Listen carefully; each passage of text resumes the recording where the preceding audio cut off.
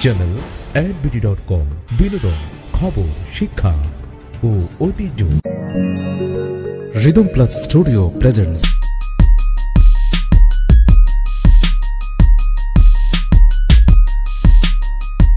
দেশের স্বনামধন্য electronics company Nova তৃতীয় টাওয়ারের শুভ উদ্বোধন উপলক্ষে রাজধানীর প্রাণকেন্দ্র দুই বা এক নয়াপটনস্থ নোভা তৃতীয় টাওয়ার প্রাঙ্গণে আজ সন্ধ্যায় ছটায় এক মিলাদ মাহফিলের আয়োজন করা হয়েছে।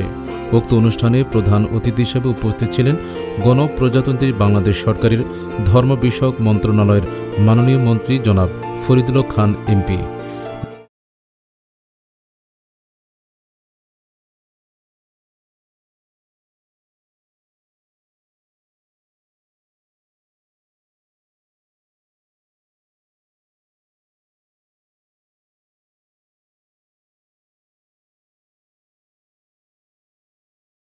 বিশেষ অতিথি হিসেবে উপস্থিত ছিলেন গৃহায়ন ও গণপূর্ত মন্ত্রণালয়ের মাননীয় সচিব জনাব শহীদুল্লাহ খন্দকার। এছাড়াও উক্ত অনুষ্ঠানে নোভা ইলেকট্রনিক্স কোম্পানির সম্মানিত চেয়ারম্যান ও ব্যবস্থাপনা পরিচালক জনাব এ ক্যাম ফারুক আহমেদ এবং নোভা ইলেকট্রনিক্সের ডিলার ও স্থানীয় গণ্যমান্য ব্যক্তিবর্গ উপস্থিত ছিলেন।